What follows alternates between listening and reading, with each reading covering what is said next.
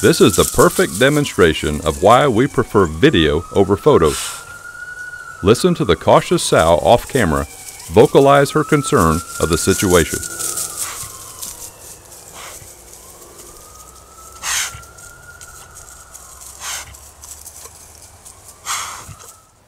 The six pigs return 90 minutes later, but there is still an hour before the digital timer spins six pounds of corn on the ground at 1730. There are at least six deer feeding every night at dusk, and they clean up a majority of the corn within an hour.